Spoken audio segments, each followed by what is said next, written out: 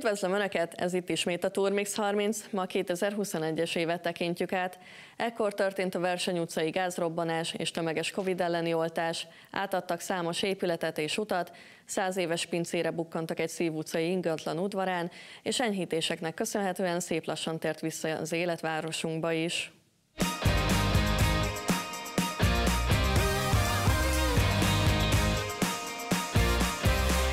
Kezdjük a 21-es életképekkel.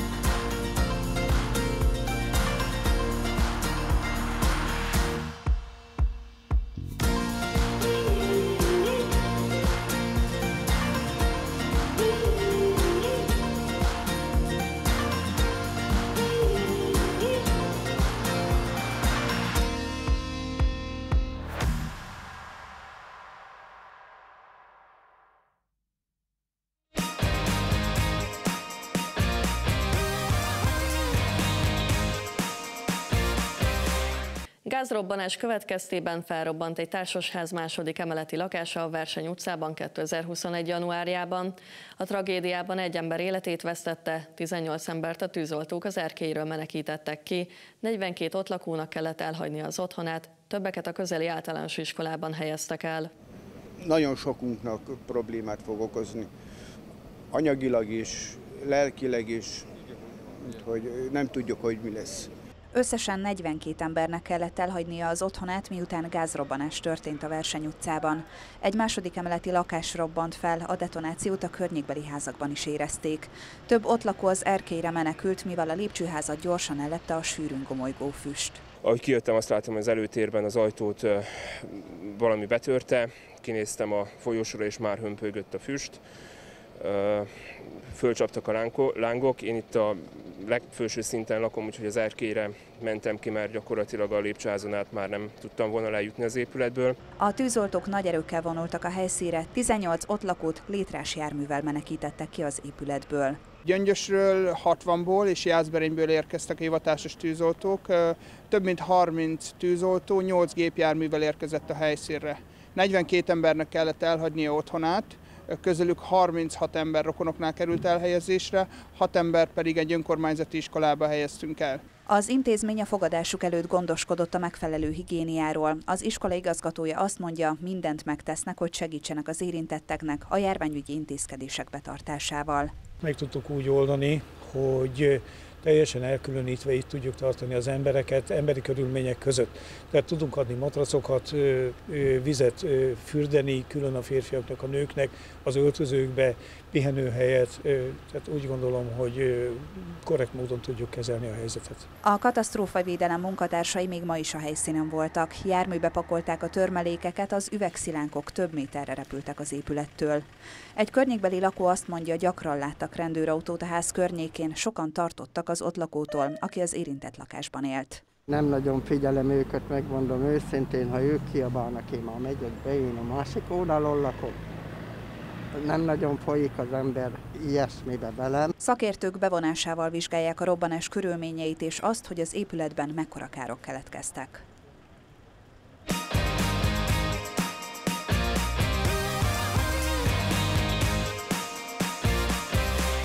Ilyen forgalom még nem volt a Mátrában, mint 2021. januárjában. A legtöbben kékestetőig szerettek volna jutni, de a tömeg miatt sokan Mátraházán ragadtak. A városrendészet és a polgárőrség mindig csak annyi autót engedett tovább, amennyit a parkoló kapacitása megengedett. Az Egererdő plusz területeket nyitott meg a parkolásra. Hetek óta a Mátra az egyik legkedveltebb úti cél Magyarországon. A karácsonyi ünnepektől kezdődően annyian jöttek, hogy ekkora forgalomra senki sem volt felkészülve. Az elmúlt napokban lehullott hó pedig még többeket vonzott ide. Így szombaton kora délelőtt már teljesen megteltek a Mátra házai parkolók is. Igaz, hogy Mátraházán még nem volt mindenhol egybefüggő a hótakaró, de volt, aki ennek ellenére is talált magának csúszásra alkalmas területet. Nagyon jó ez a szánkopája, ami itt nem messze van, mert nagyon jól csúszott ennek ellenére. Mátraházán a kékestető felé vezető kereszteződésben a városrendészet és a polgárőrség emberei irányították a forgalmat, és csak annyi autót engedtek fel Kékesre, amennyit az ottani parkolók kapacitása elbírt. Így sokan rekedtek átmenetileg Mátraházán. Az Egererdő plusz területeket nyitott meg az autóknak parkolásra, de ezek is hamar megteltek. Azok a szerencsések, akik feljutottak Kékestetőre, két helyen is szánkózhattak. A Kékestetői kilátó előtti területen, illetve ott, ahol a szolgáltató a sípájából egy szakaszt kijelölt. A sípája többi részén hóágyúztak, így ezek a területek továbbra is olyan ipari területnek számítottak, ahova tilos volt a belépés. Kékestetőre azoknak volt a legnagyobb esélyük jelentősebb várakozás nélkül feljutni, akik már korán útnak indultak. Korán érkeztünk, forgalom sem volt még, nem fél tíz körül már itt voltunk. Uh-huh. De nagyon klassz minden, úgyhogy hihetetlen ez a sok ember, gyerekek. Nagyon úgy, jó kimozdulni. Nagyon szép, jól érezzük magunkat, igen. A gyerekek nagyon örülnek, mert még nem láttak ugye idén havat, aztán így nehéz volt megmagyarázni, hogy tél van, de még sincs hó. Úgyhogy azért döntöttünk a hogy akkor eljövünk, aztán megmutatjuk, hogy milyen is a hó. A megnövekedett forgalom hatására a városrendészet és a polgárőrség emberei első alkalommal vettek részt koordináltan a forgalom irányításában. A városrendészet munkatársai a polgárőrökkel közösen személyes jelenléttel ugye igyekeztek koordinálni a hegyre érkező gépjárműveket, illetve folyamatos összeköttetésben voltak a kékestető parkolóőreivel, illetve a rendőrséggel. Ennek ugye egy célja volt, hogy elét vegyük annak, hogy a csúcsra vezető út beduguljon, illetve hatékonyabban lehessen megfékezni szabálytalanul megállókat, illetve egyéb ilyen magatartásformákat. Ferenci Dániel hozzátette, hogy az egyenruhás jelenlétnek és a kontrollált forgalomnak köszönhetően nem történt sem komolyabb atrocitás, sem baleset. A következő időszakban hasonló közös együttműködéssel igyekeznek irányítani a forgalmat, és ezzel segíteni az ideérkező turistákat.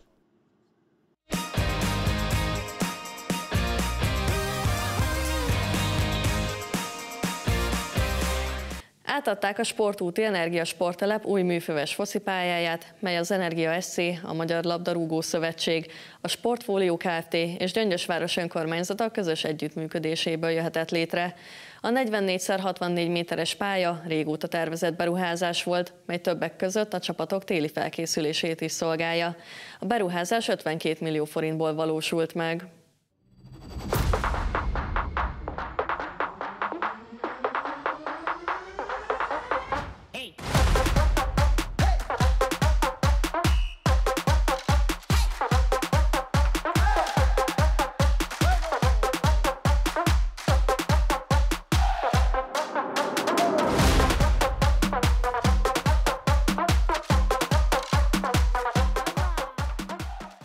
Pályának a létjogosultsága ugye megkérdőjelezhetetlen és ebből a szempontból. Tehát most tulajdonképpen azt tudtuk elérni, hogy a két egyesület két pályánk van, akkor kétszer annyi gyereket tudunk edzetni, és folyamatosan.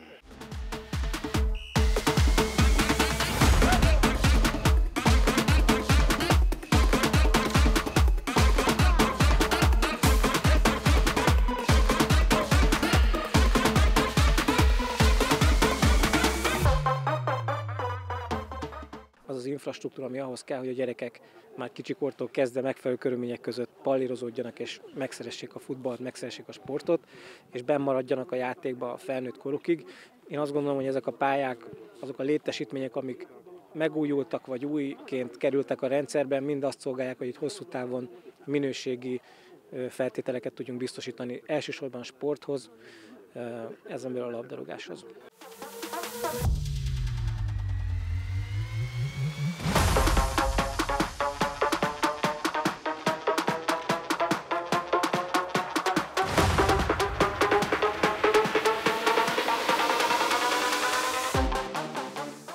Minden ilyen sportlétesítmény arról szól, hogy nagyon sok fiatal, több száz gyerek sportol, itt labdarúgásban is közel 300, felnőtt csapatokkal még több, kézlabdában is 3-4-500 fiatal sportol. Nekik a lehetőség nem csak a sportról, hanem az életmódról, egészségről, egy hosszú távú befektetésről szól. Ez most egy tényleg olyan modern pálya, hogy négy évszakos télen-nyáron tudják használni, ha vagy könnyű letakarítani, és tényleg a mai kor követelményének megfelelő.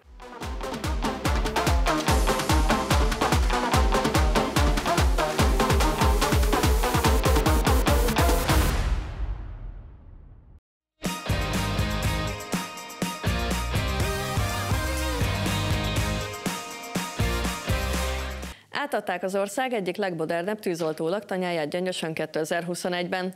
A katasztrófavédelmi kirendeltség 64 településért felel, a gyöngyösi hivatásos tűzoltó parancsnokság pedig 48 település több mint 114 ezer lakójának biztonságát erősíti.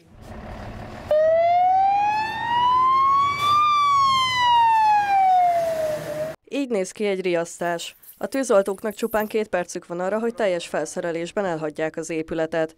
Amint látszik, már az új helyükről vonultak a tűzoltók, ugyanis a hétvégén átköltöztek, mától pedig már az új laktanyában teljesítik szolgálatukat a kirendeltség állományába tartozókkal együtt. A járvány miatt szűkörű bejárást tartottak, hogy a média segítségével az itt élőknek is bemutassák a korszerű létesítményt. Dr. Zójomi Géza kirendeltségvezető kiemelte, az új tűzoltó laktanya előnye nem csak abban rejlik, hogy sokkal modernebb és kényelmesebb, hanem a költözésnek köszönhetően csökken a vonulási idő is. Innen a város közepéből lehet a leggyorsabban elérni a város bármelyik pontját, tehát időveszteség nélkül tudunk kiérkezni a városba bárhol lakóhoz. Az épület egyébként két funkcionális egységből áll. A szertárakat magába foglaló, a készenléti állomány elhelyezésére szolgáló, több mint 1000 négyzetméteres épületszány mellett egy irányítási hivatali épületrészt is kialakítottak. Az alsó képen látjuk a 1917-ben leégett tűzoltó laktanyának a, a fényképét.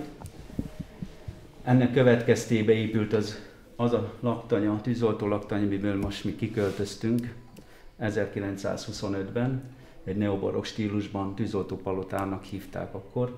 A kirendeltségvezető éppen azt mutatja, hogy elődeik és most ők honnan hová költöztek. Kötődtek a belvárosi műemléki épülethez, amely évtizedekig adott otthon számukra, így kettős érzésekkel távoztak. Ugyanakkor, amikor meg kiérkezünk az új laktanyába, és látjuk az új elhelyezést, látjuk a tágas irodákat, a tágas elhelyezési helységeket, és látjuk a, a tűzoltó technológiának helyet adó kiszolgáló helyiségeket, akkor bizony azt mondjuk, hogy igen, megérkeztünk, ott vagyunk a kornak megfelelő technikai színvonalon tudunk majd működni, üzemelni, és ez mindenképpen azt jelenti, hogy a lakosságnak a biztonsága az magasabb szinten lesz ellátva. A Gyöngyösi Önkormányzat is segítette a beruházást, egyebek között a volt honvédségi laktanya területének fejlesztésére elnyert 570 millió forintos pályázat keretében.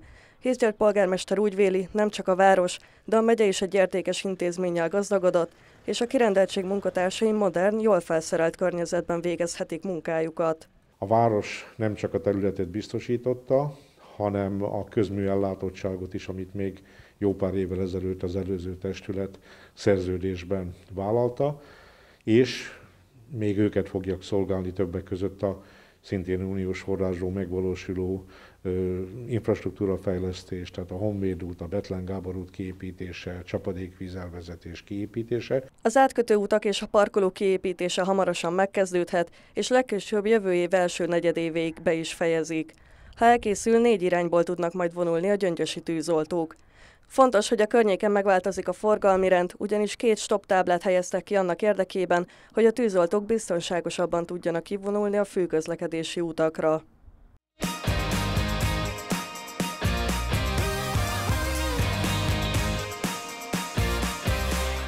Fegyverrel fenyegetőzött egy férfi 2021-ben a polgármesteri hivatal folyosóján. Nézzük a részleteket. Itt a polgármesteri hivatal külső folyosóján kezdett el hangoskodni egy fiatalember fegyverrel a kezében. Úgy tudjuk, az itt dolgozókat azzal fenyegette, hogy használni is fogja azt. A rendőröket a városrendészeti igazgató értesítette. Az ügyfélszolgálati napot kihasználva jutott be a férfi az épületbe, és a polgármesteri irodához közel állt meg a kinti folyosón. Információink szerint azt mondta, három embert meg fog ölni. A hangoskodásra lett figyelmes többek között a városrendészeti igazgató is, aki azonnal hívta a rendőröket. Hallottam egy zajt, hogy egy ügyfél hangosabb a, fenti emeleten. Kinéztem az ablakon, és láttam, hogy fegyverrel hadonászik ez az ügy, ügyfél, ezért a rendőrséget azonnal értesítettük, hogy érkezzenek és intézkedjenek az elhárításban. Ez alatt a biztonsági őr felment, akire a 46 éves támadó ráfogta a fegyverét, úgy tudjuk gázriasztó pisztoly volt a kezében. A hivatal előtt golyóálló mellényben álltak a rendőrök több járművel, az eset ideje alatt a gyalogosokat a tér másik oldalára terelték. Több nézőnk is jelezte, hogy látták a férfit az Alkotmány utcában lévő benzinkútnál, ott szintén hadonászott a fegyverrel is fenyegetőzött. Információink szerint a támadó 2002 és 2004 között a polgármesteri hivatal dolgozója volt, és úgy tudjuk az ő volt párja került börtönbe 2016-ban, mert halára éheztette kislányát. A rendőrök a helyszíre érve ártalmatlanították a férfit, és bűncselekmény elkövetésének gyanúja miatt előállították.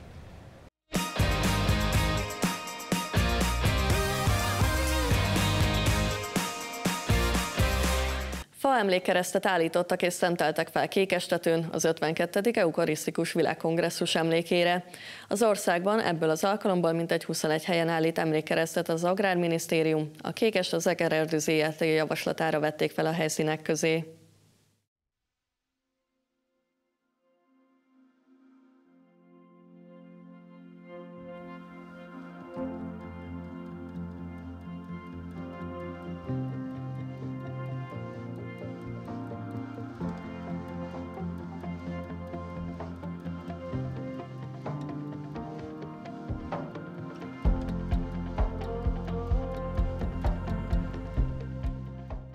Mi is hosszú távban gondolkodunk, hosszú életciklusú erdőket nevelünk, tehát amit most elvégzünk, ahhoz óriási hit kell, hogy bízzunk abba, hogy ezek az erdők majd szépen fel fognak nőni, és a jövő nemzedékeit fogják szolgálni, és ugyanígy azt gondolom, hogy ugyanilyen fontos a hit is, hogy bízzunk a jövőben, bízzunk keresztény magyarságunkban.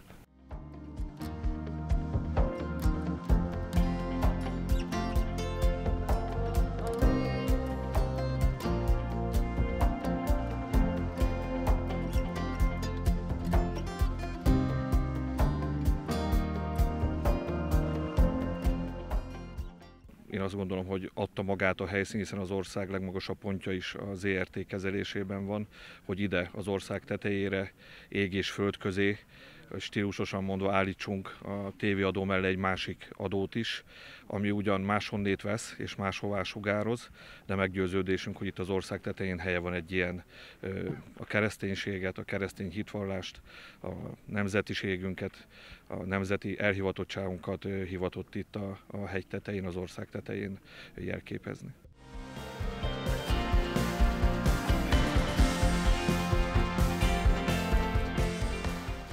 Azt gondolom, hogy Jézus, Jézusnak a tevékenysége, életútja, szerepe, példamutatása az úgy gondolom, hogy mindenkinek adhat támpontot.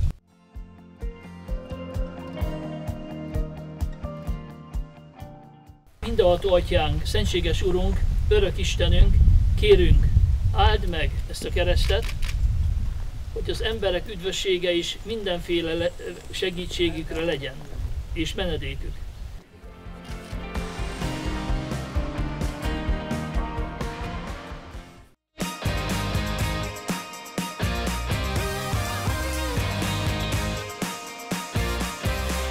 Mintegy 275 millió forint vissza nem térítendő Európai Uniós forrásból újult meg és bővült a Jeruzsálem úti bölcsöde és óvoda. Irány az átadó.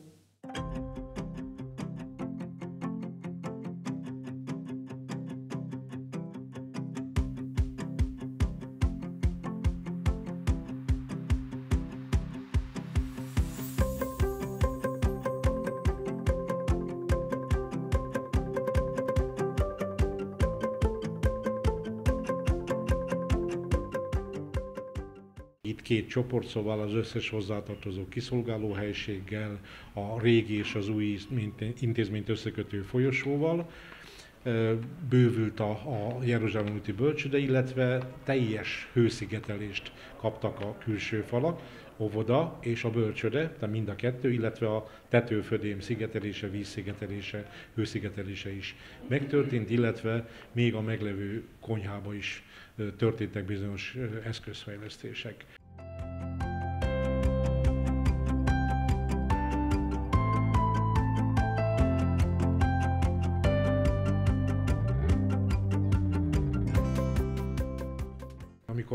Beszélünk, hogy város öregszik, fogy a létszám, akkor égetően fontos, hogy fiatalok, szülőképes korú családok ide jöjjenek, ha munkába jönnek, telepedjenek le, hozzák ide a gyereket. Ugye, ha én ebbe a korban lennék, én is azt mondom, hogy első a gyermekintézmény, bölcsöde, óvoda, iskola.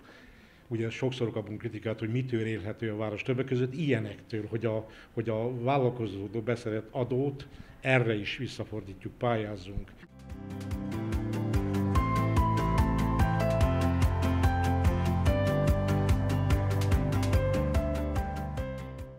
Nagyon komolyan kellett abban gondolkodni, hogy még a faanyagára most napról napra változik, hogy ezt ebben a közegben, ebben az építő ipart egyébként teljesen átalakító közegben nekünk meg lehessen csinálni, hogy végre tudjuk hajtani.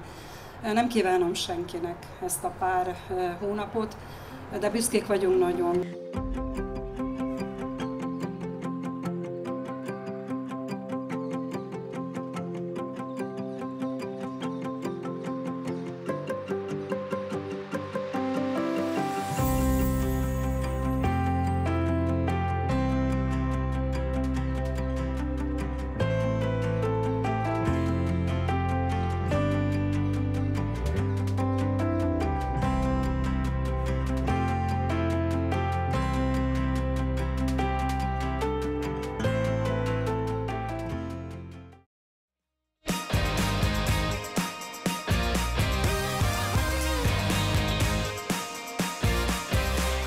Ebben az évben nagyszabású felújítás történt a 24-es számú főúton. Nézzük!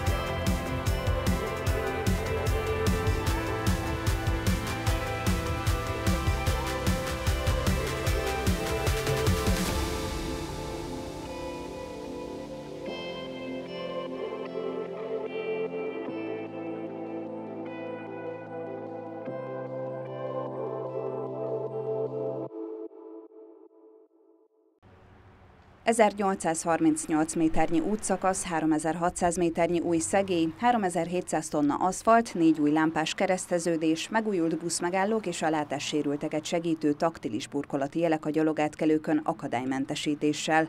Kevesebb mint 100 nap alatt újult meg a 24-es út 3-as számú főúttól a Dobóútig mintegy 667 millió forintból. Az első szakaszt ma adta át ünnepélyesen a Magyar Közút, a kivitelező és a térség országgyűlési képviselője. Számukra nagyon fontos volt az, hogy zöggenőmentesen és a forgalom fenntartása mellett tudjuk ezt a kivitelezési munkát végezni. Igyekeztünk a folyamatos kétirányú forgalmat meg fenntartani, Ebben nagy segítségünkre volt a közútnak az a rugalmas és a városnak a rugalmas viselkedés, hogy amikor kellett, akkor a terülutakat is igénybe tudtuk vetetni a forgalommal. Az autósoknak, buszosoknak, taxisoknak és áruszállítóknak augusztus 11-től 10 héten át kellett a Mátra irányából elkerülni a Kohári utcát, ezen kívül azonban útszűkítésekkel mindkét irányban haladt a forgalom. A 24-es felújítása a téli időszakra leáll, utána azonban ismét visszatérnek a munkagépek. Azt ígérjük, hogy ugyanígy ugyanilyen hozzáállással fogjuk folytatni a hátralevő 13, kicsit több mint 13 kilométert a tavasszal, és hát bízunk benne, hogy mindenki számára a Mátra megközelítése, a város elérése, a városon belüli közlekedés egy új szolgáltatási színvonalon fog tudni megvalósulni. Horváth László, a térség országgyűlési képviselője elmondta, a munka úgy lehetett eredményes, hogy mindenfél, így a kivitelező, a közút, az állam, a város és a lakosság a közös cél érdekében tudott együttműködni. Minden felújítás, minden új útépítés, átépítés, újjáépítés az egy vizsga is, az együttműködésnek a vizsgája. És ebben az együttműködési vizsgában gyöngyös jelesre vizsgázott, és ezért azt tudom mondani, hogy bizakodással tekinthetünk a jövőbe, mert folytatjuk ezt a munkát. Tavasszal tehát folytatódik a 24-es út további szakaszainak felújítása egészen Mátraházáig, illetve a nyugati elkerülő út munkálatai párhuzamosan egyes városi fenntartású utakkal együtt. A Gyöngyösi önkormányzat is beszállt a munkálatokba, összesen 19 millió forint plusz forrást biztosított, többek között akadálymentesített gyalogátkelők kialakítására, járdák javítására és aknafedlapok cseréjére.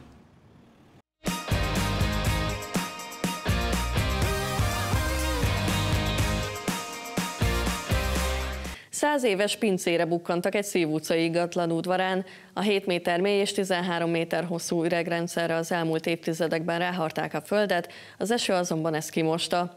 A tulajdonos betemetni az üreget, ennek módjáról azonban még egyeztetnek a szakemberek.